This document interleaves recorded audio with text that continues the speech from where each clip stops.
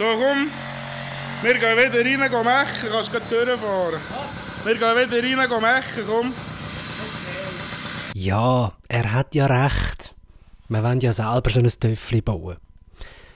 Also, fertig gespielt. Dann gehen wir jetzt halt wieder an die Arbeit.